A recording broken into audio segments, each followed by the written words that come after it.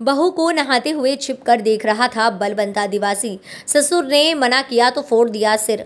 शिवपुरी ज़िले के भौंती थाना क्षेत्र के अंतर्गत आने वाले ग्राम बीरा में गाँव का ही युवक गाँव की महिला को नहाते हुए देख रहा था। तभी जब ससुर ने उसे देखा तो इसका विरोध किया। इसके बाद युवक ने ससुर पर हमला बोल दिया। वहीं वह घायल हो गया।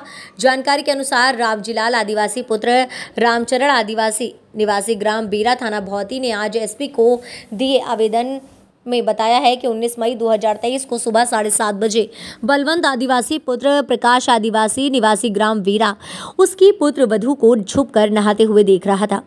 तभी देखते ही देखते ससुर द्वारा जब आपत्ति की गई तो बलवंत आदिवासी द्वारा लाठी से हमला कर दिया, जिससे उसका सिर फट गया। वहीं आरोपी द्वारा जान से मारने की धमकी दी गई है। उसके बाद भौंती थाने में शिकायत दर्ज कराई।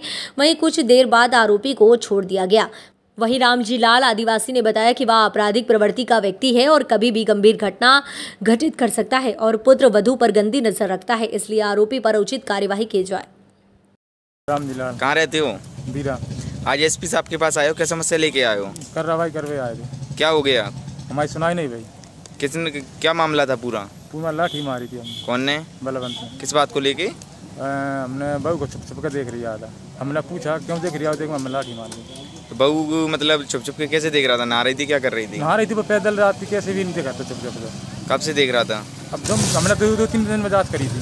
तो कहाँ से देखता था वो? छत पैसे देखे हैं कहूँ पेट्रोल पैसे देखे हैं। हम्म तो किसने बताया आपको ये बात? बहू नहीं बताया। फिर? फिर बस हमने पूछा था हमने लाठी मार दी। कितने लोगों ने मारा? एक पाँच दो तीन लोगों ने जुड़ के मारा था बस। कौन कौन थे? बलवंत था बच्चन था। आपके कौन लगते हैं जी? कोई नहीं लगा। मोहल्ले के हैं। मोहल्ले के। तो थाने में शिकायत नहीं की? नहीं करी थी। फिर? सुनाई नहीं हुई। सुनवाई नहीं हुई। अब आप क्या चाहते हो? सुनवाई चाहेंगे हम चुनाव